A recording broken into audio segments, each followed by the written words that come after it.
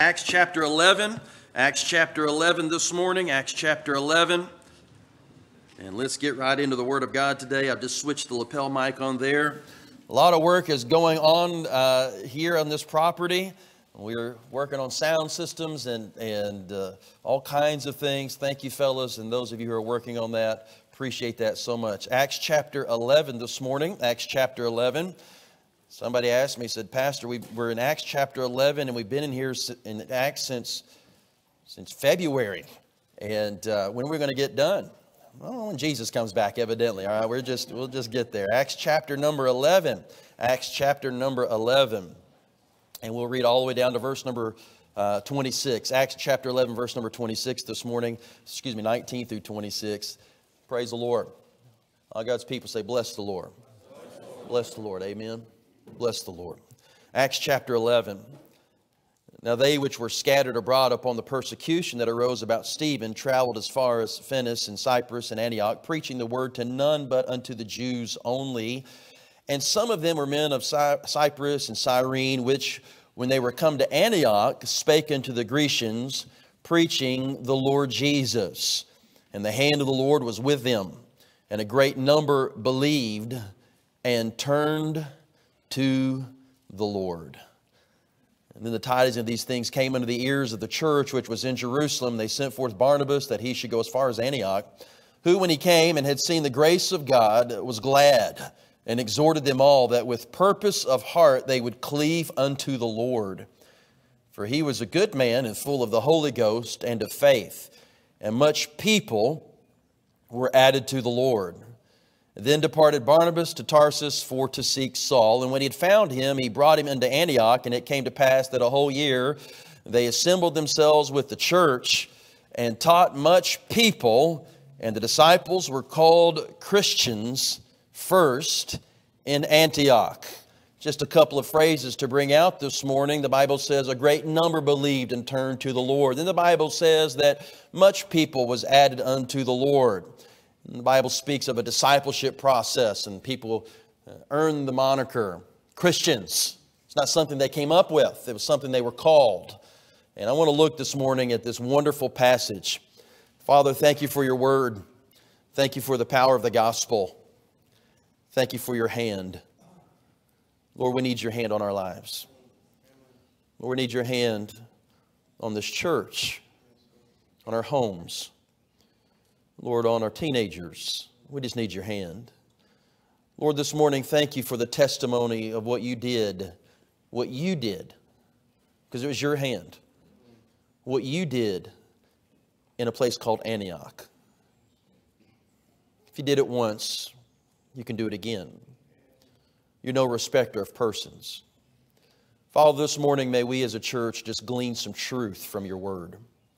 May the word get into our hearts change our minds, change the way we think, change our desires. And Lord Jesus, we'll thank you for it. And all God's people said, Amen. amen and amen. You may be seated there in the presence of the Lord. By way of background, I want to speak to you just about Antioch a little bit this morning.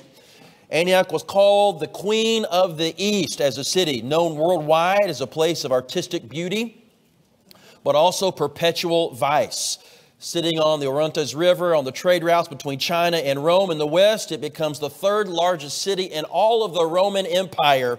In fact, there were only two cities more famous, two cities more powerful, perhaps more influential. That was Alexandria and Rome. And Rome. The merchants of Antioch trade with people from all over the world. Antioch was a multicultural city, including a population Romans, Greeks, Syrians, Jews. I mean, every tribe under the tongue was in this city. It was a very famous city, very affluent city. It was filled with all kinds of forest and natural beauty and what we would today call national parks. Even back then, they were taking the land and charging people to get back into their own land. Somebody say amen right there? All right, sorry about that. But anyway, uh, national parks.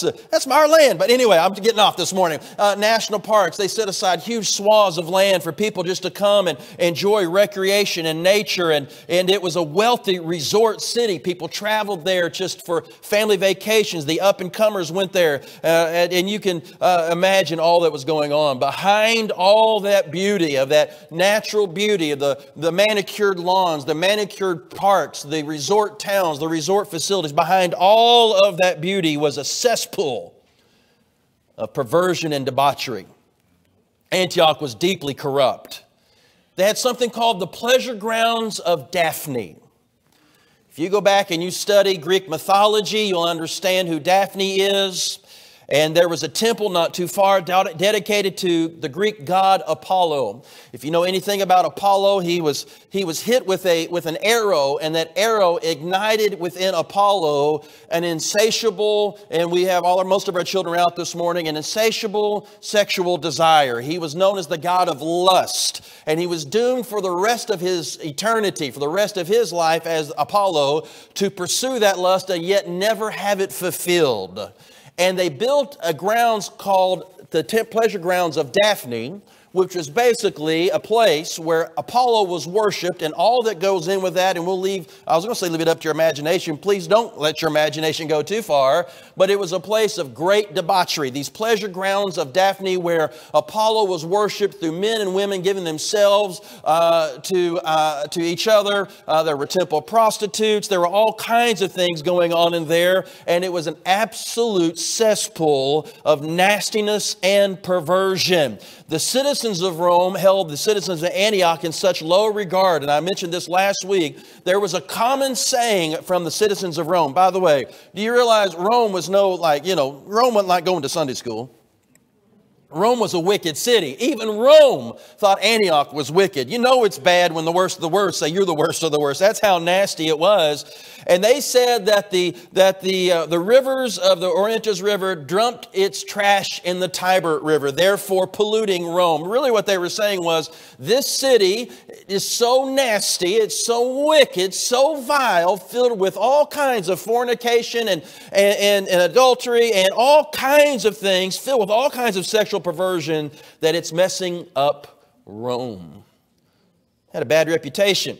Young man would not come to his parents and say, Hey, I, I met a girl in Antioch. Can I bring her home? no, you're not allowed to bring a girl home like that or a boy home like that. But something amazing happens in this city. The gospel comes. The gospel comes. And while there was a temple erected to Apollo and a whole grounds to Daphne, a church arises and becomes a springboard for world missions activity. The church at Antioch is the launching site for multiple, multiple mission endeavors, even found in the book of Acts. We'll see them over the next several weeks. It's from Antioch that Paul launches each of his three, if not four, missionary journeys evangelistic whirlwinds that just helped the church explode throughout the known world at that time. And some say that he even goes uh, as far as Britain with the gospel. Now, whether he went that far or not, we don't know, but we know the gospel went that far. And let me just say it this way, not, this is not hyperbole, this is actual truth. You know the gospel today because of the movement that happened in Antioch. God took that little church and God used that church to spread the gospel to the whole world. I'm not one of these that think we can trace every, you know, we can't, we, we, as a church, we can trace it back to this and trace it back to this because there's just so many people that have blessed us and so many people that God has used. But do know this it is from this movement in this wicked, vile, nasty, perverted city that the whole world comes to know the gospel. So, why, why does that interest you? Because if it can happen there, it can happen here. Antioch becomes home to the greatest preachers and Bible teachers of that generation in the first century. Barnabas, Paul, and Peter are there.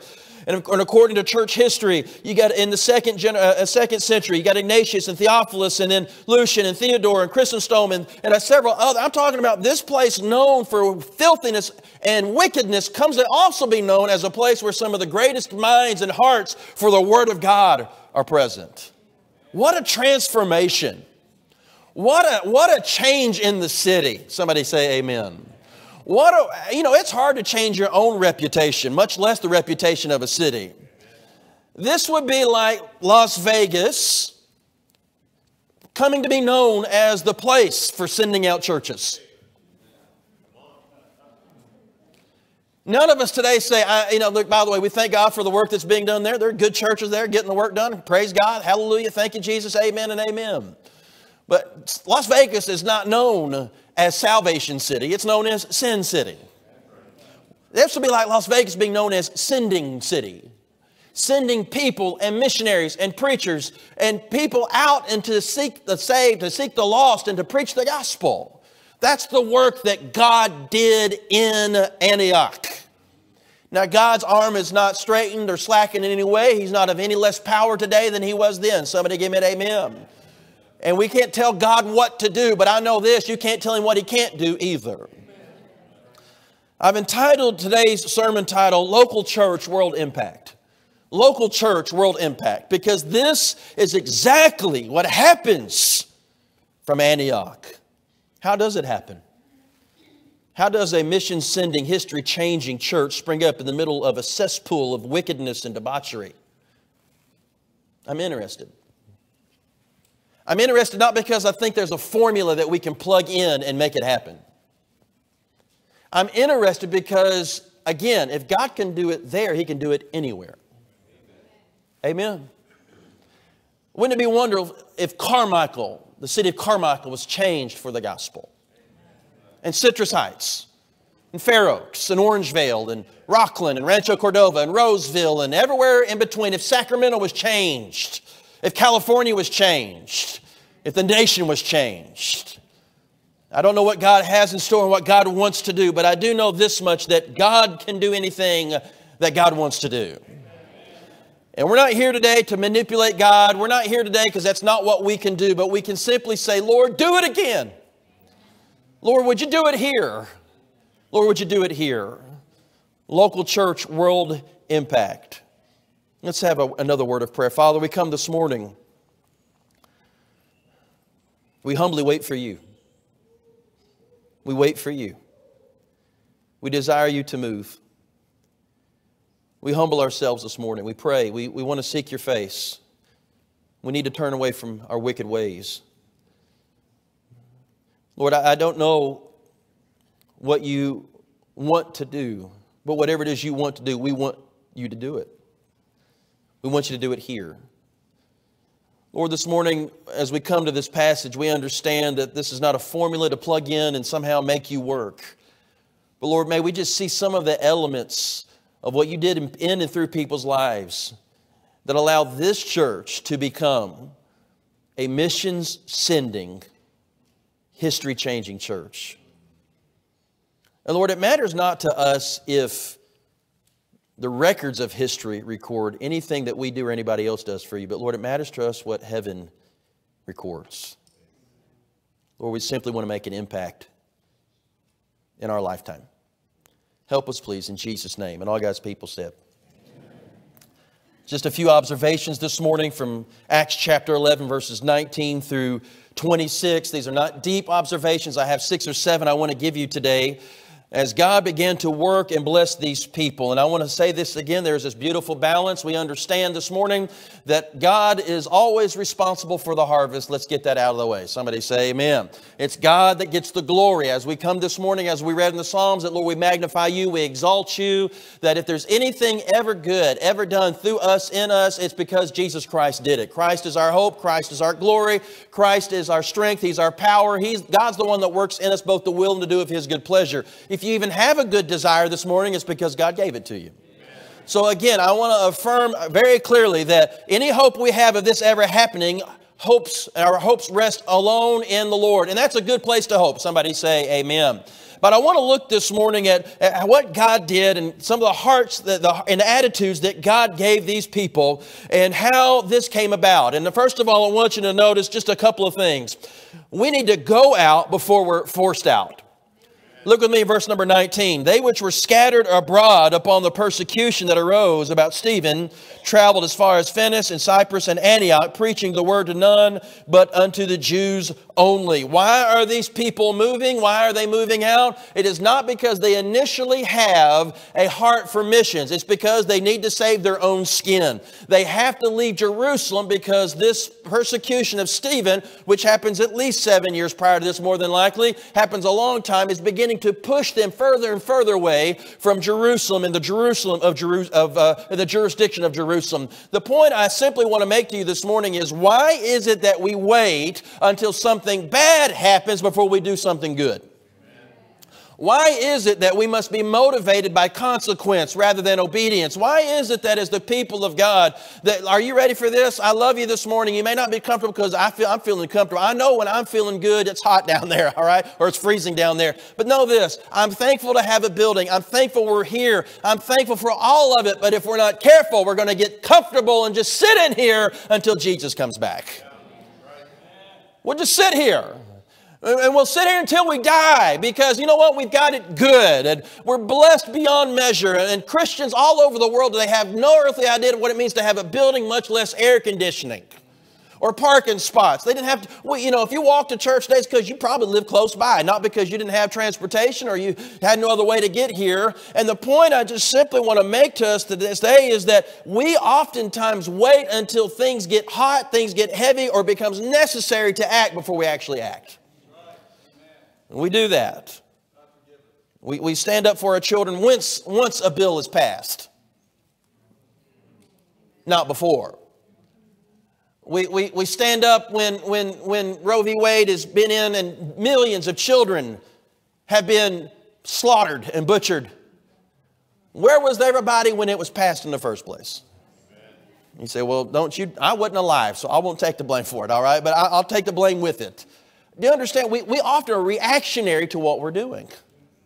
Let me say to you this morning that as far as the gospel is concerned, that we are to, let's go out before we're forced out. I do believe that persecution is coming. It's already here in this nation. Uh, and, and not certain ways that you may see, but as we had Larry, uh, Harry Mihet from Liberty Counsel, there have been pastors arrested in this state, in this country, Yes, within the last several weeks and years and months for preaching the gospel according to their own conscience. Somebody give me an amen right That really happens. It has happened and it's already here. And I sometimes I wonder, in fact, I'm sure of it. God designs, permits, and allows persecution of his people so that we'll not be comfortable and that we'll not sit on our hands and to look in here and say, oh, how beautiful things are in the beautiful auditorium, but that we'll go out and preach the gospel like we're supposed to. You say, I, I'd like to avoid persecution. That's not a biblical attitude in the first place. But let me just simply say, let's not wait until things get bad, until our neighbors are almost dead, until our children are so far gone. Let's not wait till then to be obedient and preach the gospel. Number two, let's be pioneers and go to dark places. The Bible says in verse number 20, some of them were men of Cyprus and Cyrene, which when they were come to Antioch, spake unto the Grecians, preaching the Lord Jesus. I need to confess something to you this morning, and don't throw a rock at me when I say it. Please don't. I have never, can't believe I'm about to say this, Brother Noel. I have never liked the name Pioneer Baptist Church. I have never liked it. I never liked the name Pioneer. I never did. I didn't like it when I came. I didn't. I didn't like it until I started studying this for this message, to be honest with you. So God has done a work in my heart in the last week. Uh, amen. a few years back, I purchased domain names, I purchased websites, all with the ministry name on it, had new logos designed, all waiting for the day we made it to the new property. We said, Hallelujah, God's done something new. Let's change our name. And I, I was, I'm in gung ho on. I've been, I've had these websites for three years, four years. Lo and behold, we move over here. And there is a ministry in the vicinity that has a very similar name to the one I picked out. So, what was the name? Well, the name I picked was Witnesses of Jehovah. That's, that's not true, okay? That's not, that's not true. That's not true, all right? Get over it. All right, it's not true. Uh, but listen, I had this thing picked out. It doesn't really matter anyway. But I just didn't like the name Pioneer because the word Pioneer Association has coonskin hats and covered wagons. And, and in fact, we used to do that as a church, Pioneer Baptist Church. We used to have something called Pioneer Days. And we would dress up old fashioned and wear, women would wear bonnets and hoop skirts and, and, and stuff. And visitors would come in and think, Are we in the Twilight Zone? What has happened here? Those were good days. I'm glad they're over. But the word pioneer does not mean something that's stuck in the past. It means to move forward into territory that is either undiscovered or has been ignored. And that's what we have here in verse number 20. Some people, yes, pushed out because of the persecution, but they go into Antioch. Now, I want you to notice in verse number 19 that there were some who went into Antioch and they preached the word to none but to the Jews only. But there were some who went into Antioch and said, It's not just for the Jews, it's for anybody who has a pulse. They cross cultural barriers.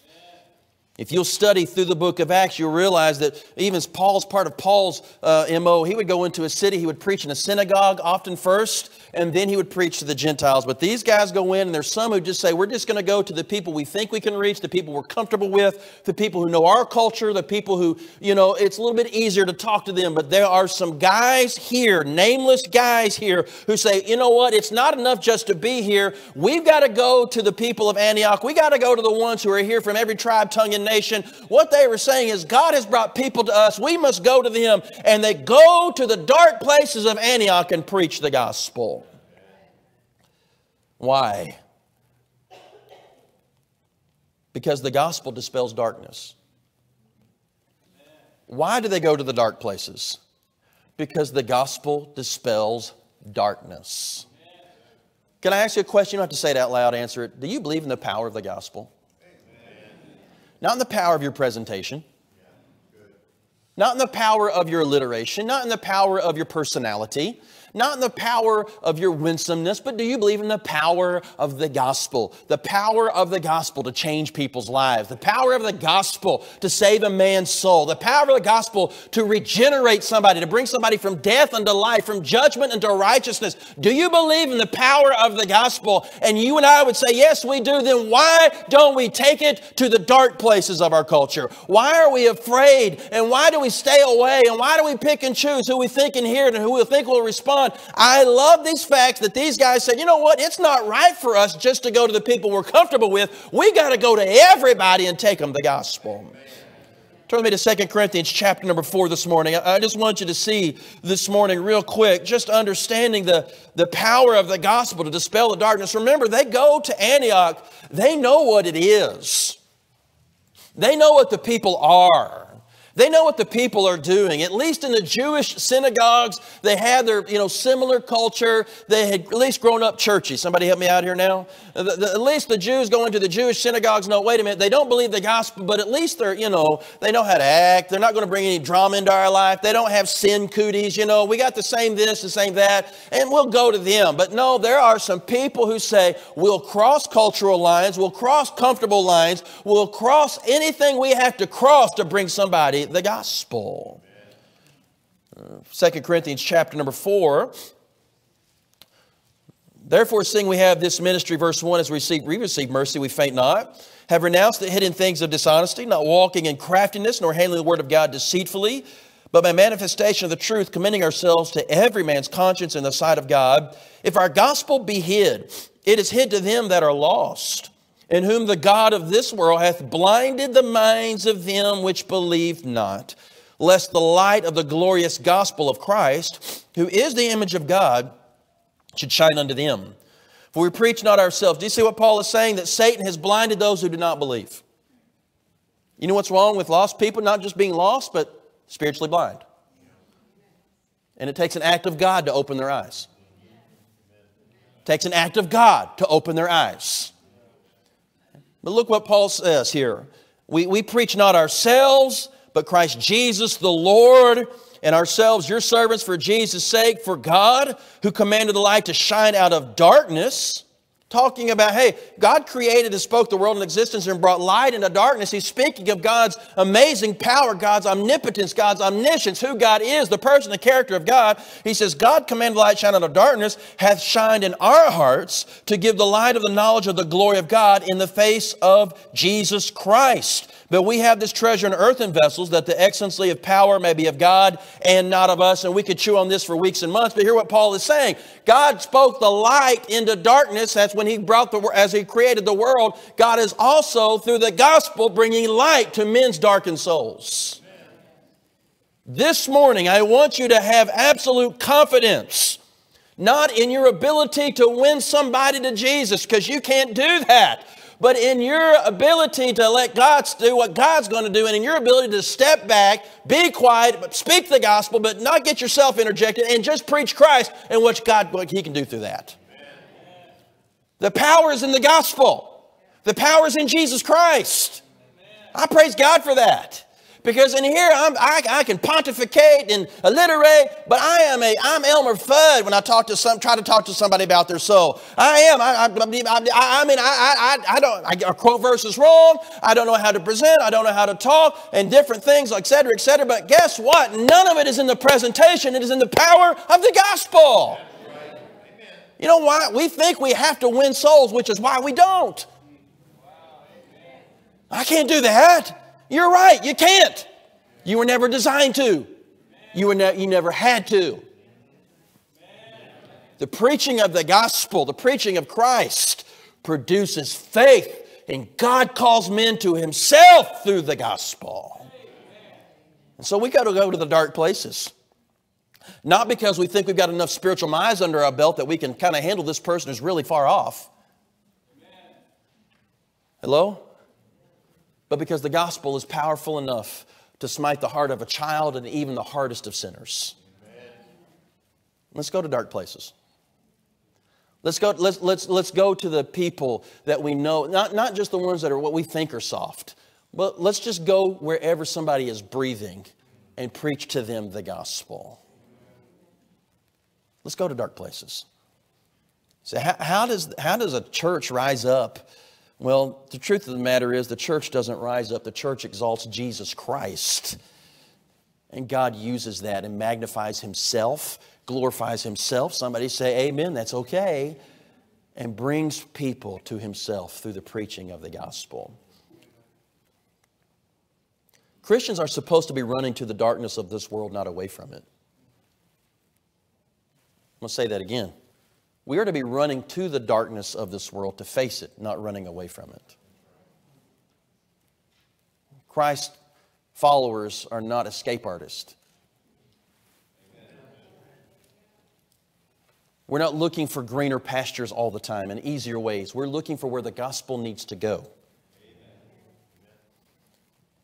The Lord really just drove this point home to me two very distinctive ways one several years ago, and the other just this week how that my heart tends to run from the dark places, from the difficult spots to preach the gospel, from the difficult people to, to speak to Christ about. One illustration, I've used it many times in our church, is years ago, one of my children said, I want to be a firefighter. You've heard me tell this a couple of times. Said, I want to be a firefighter when I grow up. I thought, that's great. That's awesome. Great. And I want to be a firefighter in San Francisco. Oh, no, not there. Not that I used to drive in that city. I was a limo driver in that city. I, I, I, I've seen the underbelly of, of that city. It's, it's, it, yeah, I, it's Antioch minus the prettiness. I mean, it, to me, I'm sorry, I'm sorry. If you're from San Francisco and you left your heart there, let's go get it and bring it back to Sacramento. All right, I, am sorry, just, just don't go there. And I said, why in the world would you want to be a firefighter in San Francisco? And this was his response, because that's where all the trouble is. I thought, that ought to be the Christian's attitude. Where do you want to go? Where all the trouble is, where all the lost people are. I'm not looking for my comfort. I'm looking to preach the gospel to those who need to hear it.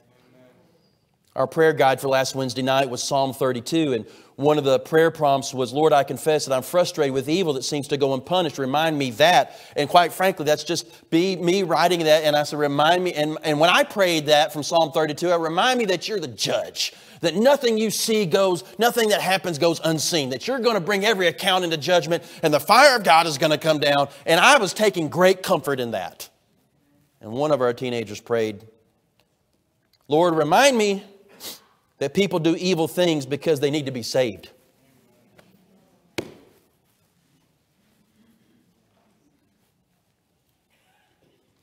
That's running to the darkness.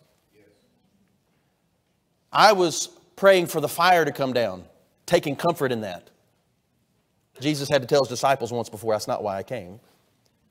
And one of our teenagers said, Lord, remind me that the reason people are doing what they're doing is because they need to be saved. I wonder how many of us can't wait for the judgment of God, but we have forgotten that we are here to preach the righteousness of Christ through faith in His name. Somebody help me out here now. Let's be pioneers and go to dark places. Number three this morning, look with me, verse number 20. Some of them were men of Cyprus and Cyrene, which when they came to Antioch spake unto the Grecians, preaching the Lord Jesus. Some of them. We don't even know who they are. We maybe have an inkling, but we're not 100% sure who they are. We know in the early church there were some men from this region, and maybe it could have been one of them, but the Bible doesn't say. And so here's the simply the third point as we see God turn this little cesspool of wickedness springs forth and bursts the church there. Can we just die to self and be okay with being an obscure agent for the kingdom? Let's just die to self. We don't know anything about these guys. We don't read anywhere where they came back and said, hey, Paul's getting all the glory, but we were here first, what, where's my credit? Come on, help me out here now. They were just happy that God used them to bring the gospel to Antioch. Our culture is obsessing with notoriety and fame. TikTok. It's all about how many views you can get and also give your passwords to China. That's the truth. All right, but anyway, that's just for free. Go study it out. All right. It's true. All right, uh, I think it is. I'm on a lot of right wing crazy sites, so I don't know. But anyway, we've got people who are famous for being famous. And people just want to be famous for being famous. Hello, yes or no? Are you living in America or am I the only one who lives around here? That's the world we live in. People want notoriety, they want fame, they just want to be known. And I want you to know it's a very worldly virtue, it's also a very satanic virtue.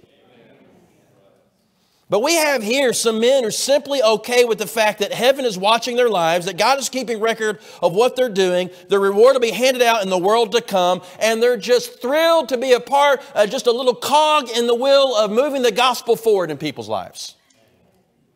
You know, God bless us all. And, and I, obviously, I trained for ministry, but every young preacher foolishly prays for larger influence. God, may I speak to thousands. God, help me to speak to thousands and millions, and et cetera, et cetera. And the truth of the matter is, we should not be praying for greater influence, just greater impact. God has to kill those dreams out real quick. He really does. He has to stamp on them. And I'm thankful that He's sort of stamped on mine. I still need some more stamping, and y'all can say amen to that. It's fine. But I want you to know that we think of Christian leaders, we think of every great movement of God, we think of, uh, of great pastors, quote unquote, preachers, and we think of the Charles Spurgeons and, the, and the, this guy and the, that guy, and we think, oh man, God really used that guy. But behind every one of them is a praying person, a praying Sunday school teacher, a praying mama. We don't even know their names. They were just somebody who was happy to move the gospel ball along so that God's glory and His kingdom could be furthered. As I was preparing for this message this week, I I kind of just wrote down this little confession. I used to want to be something for Jesus. Now I just want to do something for Jesus. That's it. I, I truthfully, I used to want to be be something for be really be, be do big things. Now I just want to do something for Jesus.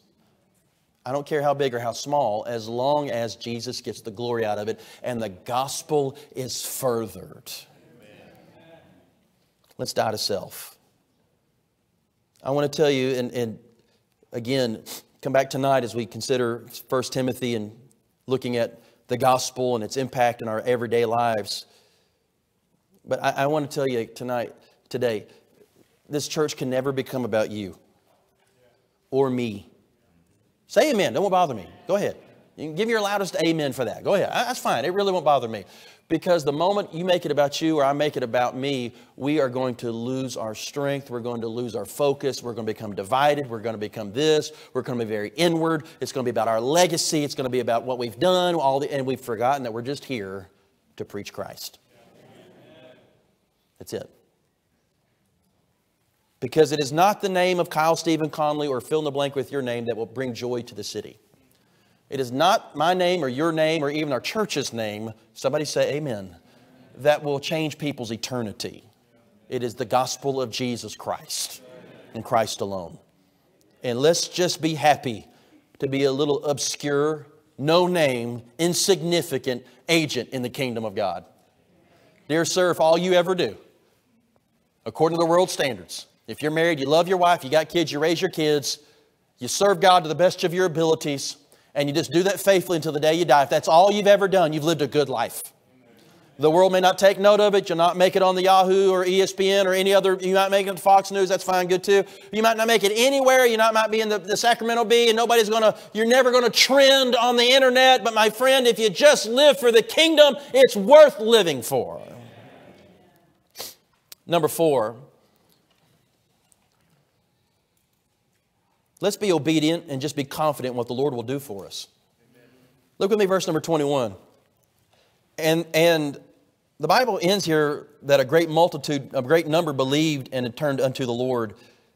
But it does not say because of these men's ability, men's ability to present the gospel or their learning or their knowledge or their efforts. I'm sure they worked hard. It doesn't say any of those things. It says it was the hand of the Lord that was with them. The hand of the Lord. I get church growth materials all the time. I will testify to this. None of them start with this heading point number one the hand of the Lord. Starts with organization, starts with marketing, starts with strategy, starts with these kinds of things and these kinds of things and these kinds of things. And I want you to know those things probably have their place and they do have their place, but they cannot take the place of the hand of the Lord. We have to remember this is the Lord's work. This is the Lord's doing. Without Him, it's just a show. But with Him, it can be anything God wants it to be. The hand of the Lord was with them. That's a powerful statement. You can trace it through Scripture. Nehemiah says, I want to show you how the good hand of the Lord has been with me. Ezra says, the hand of the Lord was with us, and look what he did. It simply means this that while we're doing our things, God's doing his thing. God things. I say that with utmost respect. Do you understand that our best of our abilities are nothing compared to God, what God can do? That when God begins to specially and wonderfully work on behalf of His people, the hand of the Lord comes upon us, His blessing comes upon us, and there is no replacement for that. If the hand of the Lord is moving, what can the principalities do? What can the devil do? What can man do? I'm reminded in Acts chapter 5, the persecution of Peter and the disciples as they stand before the Sanhedrin and they're getting, they've been told not to preach in the name of Christ and they're trying to figure out what to do with them. Uh, brother, can we help somebody with, can we get one of us out there and help with the kids, please? Bless their hearts. They're rolling over here. Thank you. Don't worry, they got out of junior church early, not you. All right, all right here, come on. Please listen here. In Acts chapter 5, they're trying to figure out what to do with the, Peter and the, the apostles. And Gamaliel says, I say unto you, refrain from these men and let them alone. For if this counsel be the work of men, it will come to naught. But if it be of God, you cannot overthrow it, lest haply ye be found even to fight against God. Folks, do you understand if the hand of the Lord is upon our church, that anybody or any principality or any wickedness that tries to stand up against us actually fighting against God, not us? And if God be for us, who can be against us? Can we not be confident? Listen, I come back to this again. Somebody said to me recently, Boy, you've been preaching a lot on the sovereignty of God lately. I didn't know that was, you could preach too much about that. I'm sorry. Uh, but listen, uh, can, can we not have confidence in the character of God? Can we not have greater confidence in God's willingness to work and God's ability to work and God's desire to work? Can we not say, if God be for us, who can be against us? Can we not just be obedient, be confident, knowing that we're not trying to get God interested in what we're doing? We should be interested in what God is doing. He's in charge. Let His hand be upon us and let God work and be confident in that. I'm standing here this morning and I'm trying to tell you you're sitting in a place where God says, let me put my hand on Pioneer Baptist Church and give them something. God put his hand on your family, he put his hand on your life. But remember, not to make a better you and for your best life now. God puts his hand on you to further his kingdom and his glory. I'm confident what the Lord will do as we preach the gospel. By the way, let's uh, I make this clear. This whole message predicates on us being a gospel centered, gospel minded church. You, re- you realize that all of this follows them preaching the gospel. I'll give you these last two or three. We'll, be, we'll do them very quickly. These are just some things we see in Antioch Church as the Spirit of God is certainly working in their life. Number five or six, let's bless each other and live in the ministry of encouragement. What is, what is a church encouraging itself and edifying itself, as the Bible tells us to multiple times, have to do with world evangelism and reaching our culture and our city with the gospel? Everything, quite frankly. Look at me, verse number 22. Then the tidings of these things came into the ears of the church which was in Jerusalem, and they sent forth Barnabas that he had go far as, as Antioch who, when he came, he had seen the grace of God, which was glad, and exhorted them all with the purpose of heart they would cleave unto the Lord. He's a good man, full of the Holy Ghost and of faith, and much people were added to the Lord.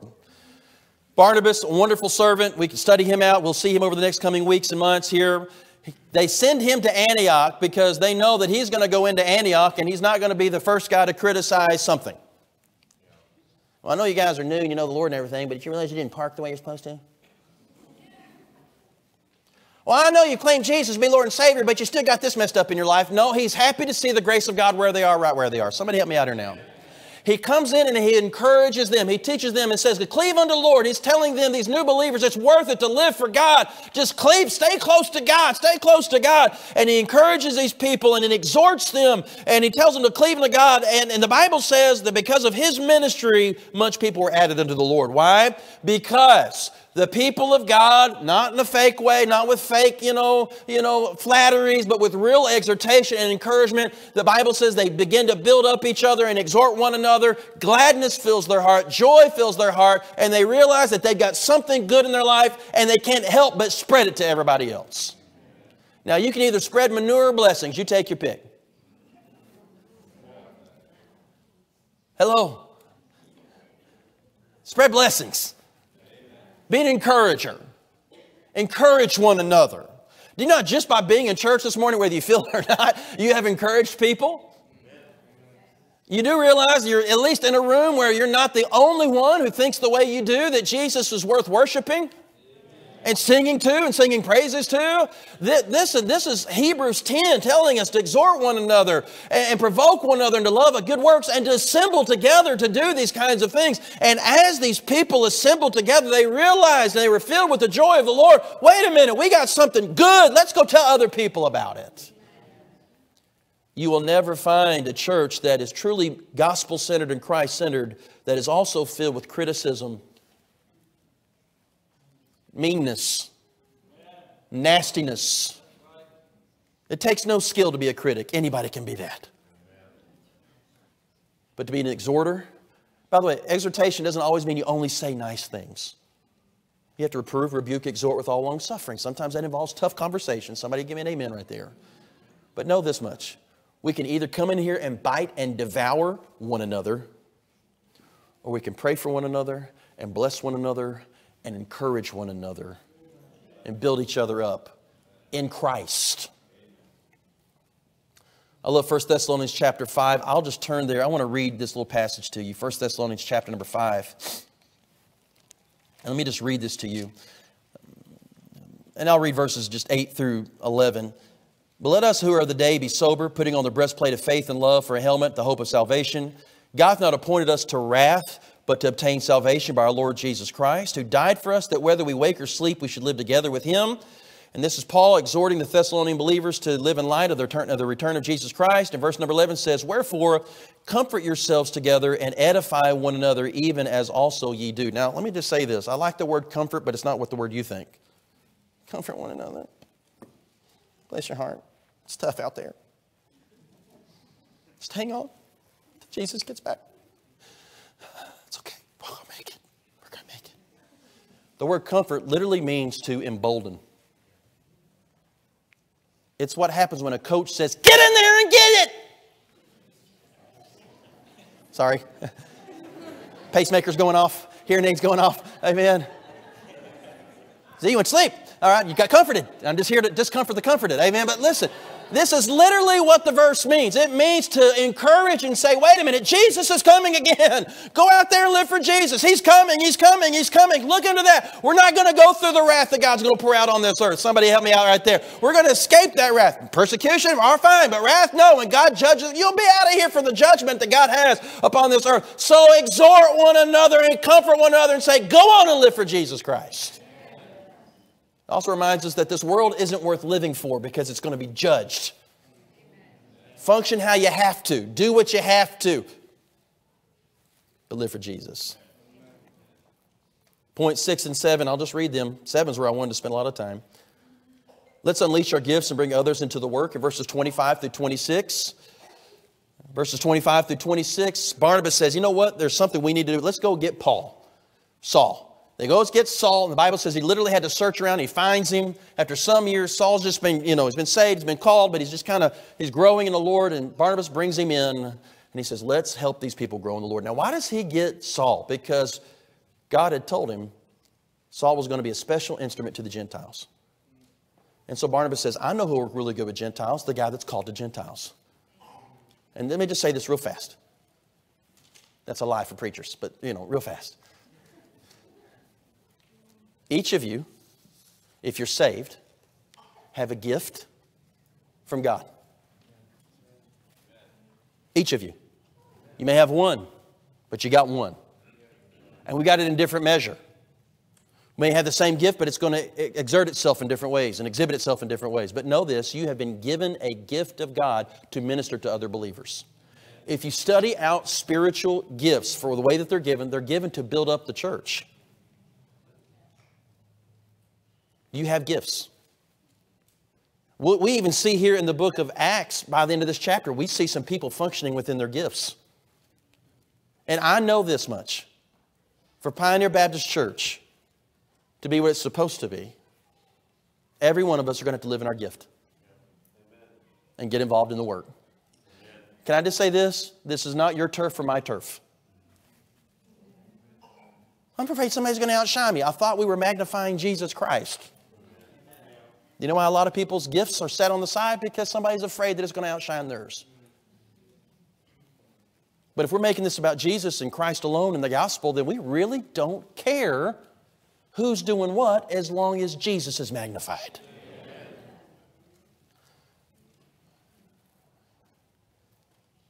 And lastly,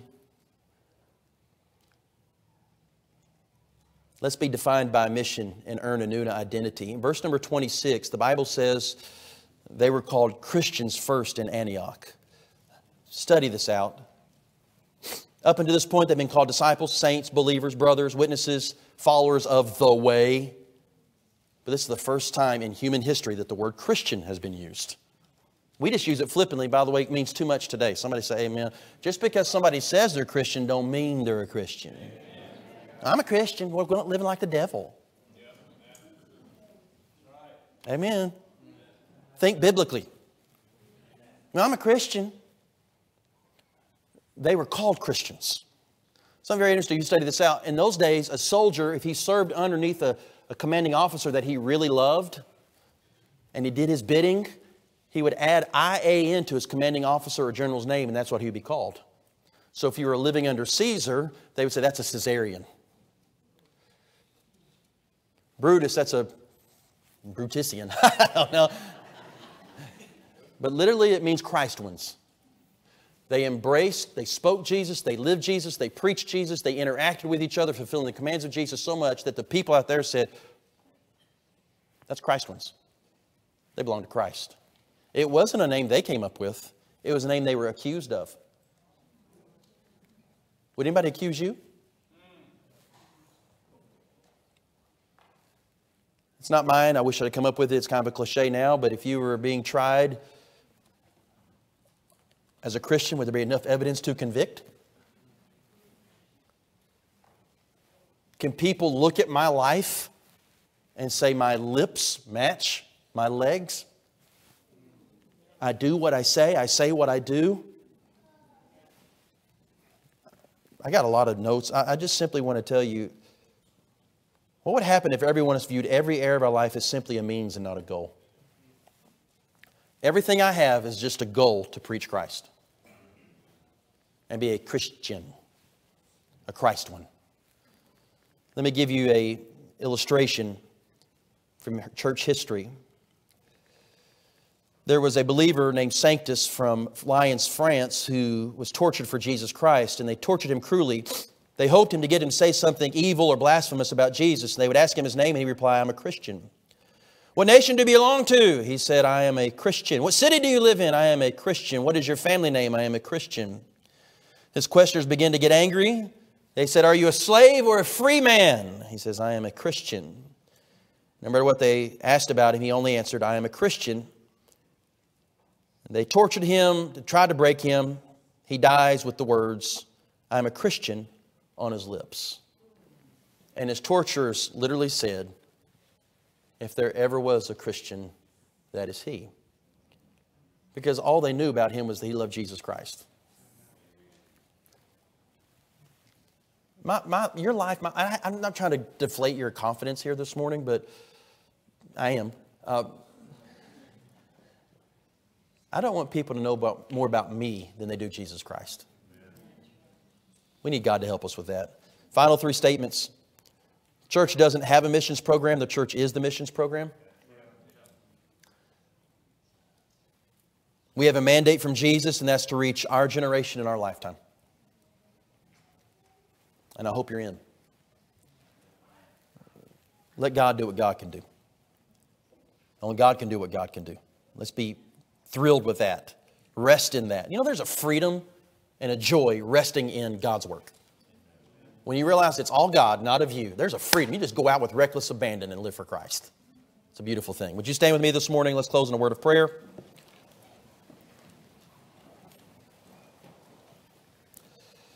Heavenly Father, we come this morning as your people,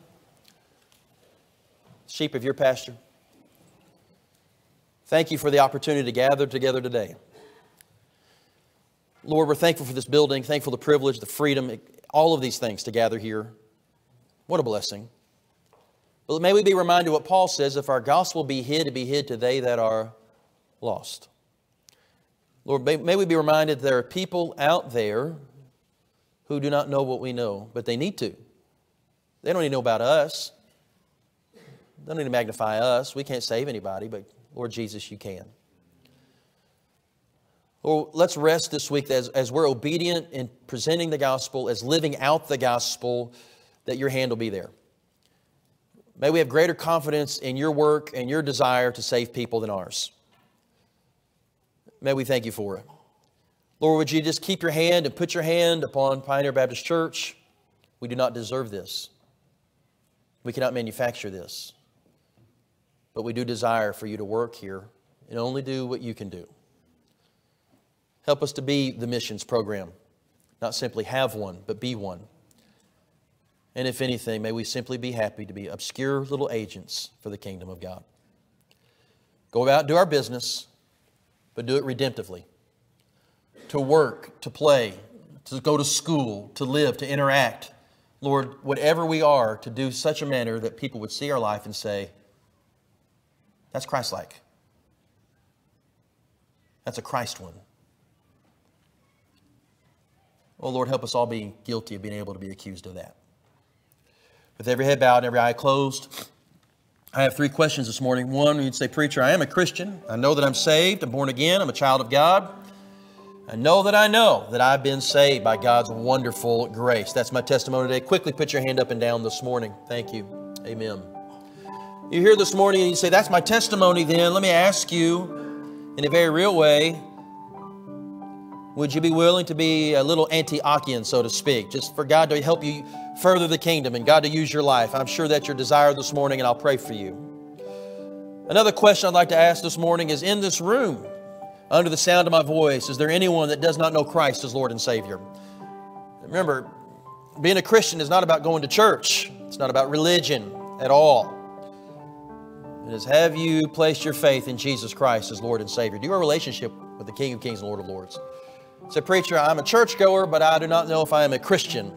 Or I know I'm lost. I know I'm not saved. I don't even know what the gospel is. No one's ever presented to me clearly. Let me tell you this right now if you're considering this, it's because God's working on your heart. God's tugging on your heart. God's opening your eyes. God is working in you so that you can come to know Him. You say, Preacher, that's me this morning. Would you raise your hand at all? Anybody at all in the auditorium this morning? Anybody at all this morning? Well, I don't see hands, but God sees hearts, and that's the most important thing. Father, for sake of time this morning, we're going to close, but I would ask again that what you do in Antioch, you do here.